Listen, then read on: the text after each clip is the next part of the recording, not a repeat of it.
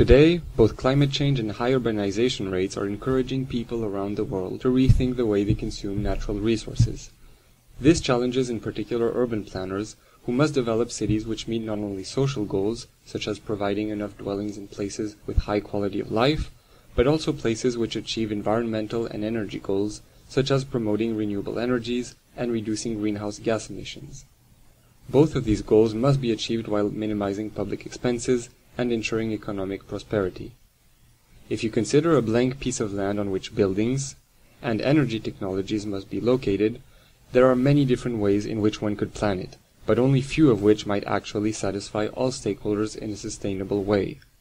Here is where interactive optimization methods can help planners take more informed decisions in early stage urban planning. The search for a preferred neighborhood configuration follows an iterative process consisting of three repeating steps. It begins by generating optimized solutions according to predefined constraints. In this step, we're basically asking the computer to solve the planning question from before. We ask it questions like, please find the cheapest urban configuration which has an 85% share of renewable energy, and so on for hundreds of cases reflecting the user's preferences. Second, the user explores the generated data using 3D maps of the neighborhood as well as parallel coordinates. By doing so, they can learn about the trade-offs between objectives and define personal constraints or preferences. Third, these preferences are included in the model and additional solutions can be generated by the optimization algorithm. This three-step process repeats until a satisfying solution is identified and a decision can be made. Let's now look a bit closer at the exploration part in step B to understand how parallel coordinates work. The following chart is called a parallel coordinates chart. It allows to easily explore different aspects about a given object. In our case, it will help us explore the characteristics of a neighborhood which is being planned. Parallel coordinates consist mainly of two things. First, polylines, each one representing a single object, like a neighborhood configuration. And second, the axes, which represent the different characteristics of the objects. Here we are considering, for example, the cost for constructing the neighborhood, its density, how many buildings have a nice view, and so on. The polylines then flow through each axis and indicate each neighborhood's characteristics. Let's use parallel coordinates to learn about trade-offs when planning for a sustainable neighborhood and identify a favorite alternative. In a first step, 15 alternative neighborhood configurations were generated by optimizing a model of the neighborhood. Each configuration represents the cheapest solution for different densities and shares of renewables. Note that the solutions with the higher renewable energy shares are displayed in green, whereas the less renewable ones are displayed in red. From this broad set of alternatives, we can narrow down the solution space by selecting only the preferred ranges of interest, for which additional solutions can be generated.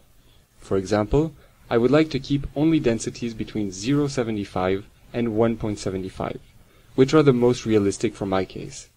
I can do so by brushing the corresponding area on the axis. As we see, only the chosen solutions are displayed while the lower density solutions and the higher ones are filtered out. This new constraint for density was input in the model and 18 new configurations have been calculated for this preferred range of densities. We notice how new lines have now appeared on the chart. Exploring the parallel coordinates, the different indicators can be compared for each scenario. For example, I am interested in the scenarios that have the highest landmark view factor, which indicates how many dwellings enjoy a nice view on the surrounding landmarks.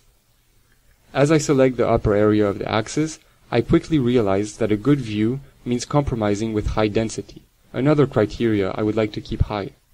So I brush down the view factor until I reach an acceptable level of density. I identify two interesting scenarios, which are acceptable both in view and in density. My preferences for view factors will now be included in the model. From now on, the optimization process will only find solutions where at least 28% of building floors have a nice view on the surrounding scenery. In this third iteration, the optimization found 20 new solutions while respecting the new constraint on view quality. Adjusting the density level to the satisfying solutions found previously, I can now also filter the solutions that present the highest shares of renewable energy until two interesting solutions remain. I notice that the top solution in terms of renewable energy also performs better in density, but is more costly and contains less open space for green parks than the other. At this stage, if the user is satisfied with one of the solutions, the decision can be made. Otherwise, the process can continue to generate more solutions according to the new constraints or objectives. At any point, the user can also explore a given urban configuration in 3D to get a more realistic feeling of the layout and form, displaying any spatial information of his choice. In this video, we saw how an interactive optimization method could be used to learn how urban goals interact. Parallel coordinates were in particular useful to interactively explore the data and input our preferences into the optimization process. In this way, not only did we become more mindful about our preferences and existing trade-offs, but we also identified a cost-optimal solution that can be included in urban planning processes.